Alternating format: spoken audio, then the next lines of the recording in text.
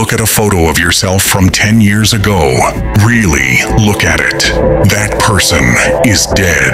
And I don't mean metaphorically, biologically. Nearly every single cell in your body dies and is replaced every 7 to 10 years. The skin you are in right now, it's new. The eyes watching this video, they weren't there when you were born.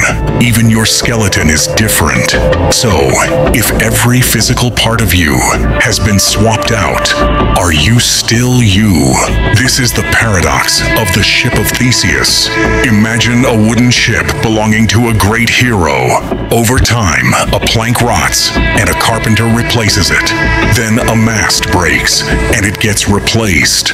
Eventually, after years of sailing, not a single original piece of wood remains.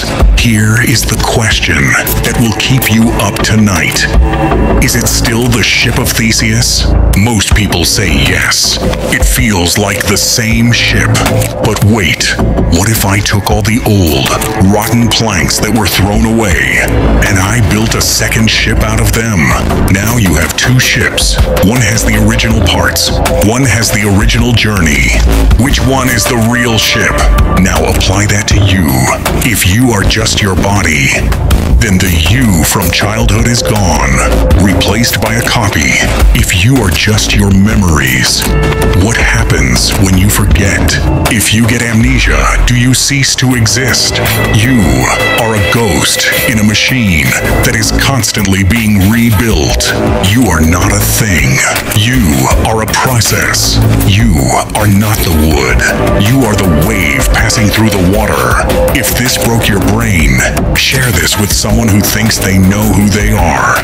And subscribe, because we're just getting started on dismantling your reality. That feeling you have right now, that subtle anxiety, that is the friction between your identity and the truth of the universe. Let's go deeper because the ship of Theseus isn't just a puzzle about boats, it's a puzzle about the soul.